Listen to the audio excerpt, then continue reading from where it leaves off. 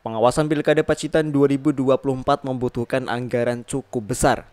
Badan Pengawas Pemilu Pacitan mengajukan dana hibah untuk mengawasi pelaksanaan pesta demokrasi tahun depan nanti ke Pemkap sebesar 14,8 miliar rupiah. Ketua Bawaslu Pacitan Berti Stefanus mengatakan anggaran yang diusulkan itu sudah termasuk honor ad hoc seperti panitia pengawas kecamatan dan petugas pengawas lapangan. Usulan ini naik dibandingkan saat pilkada 2020 lalu yang hanya sekitar 12 miliar dan sisa 1,7 miliar rupiah. Meski begitu anggaran yang diusulkan tersebut masih bersifat dinamis, artinya masih bisa bertambah atau berkurang sewaktu-waktu. Pasalnya dalam draft rencana anggaran biaya yang diajukan Bawaslu berpedoman pada pelaksanaan pilkada di masa pandemi COVID-19.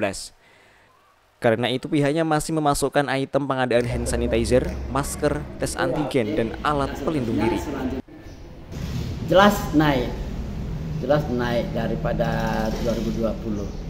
Kalau 2020 kita kita mengajukan 12. 12 kita mengembalikan 1,6 atau 1,7.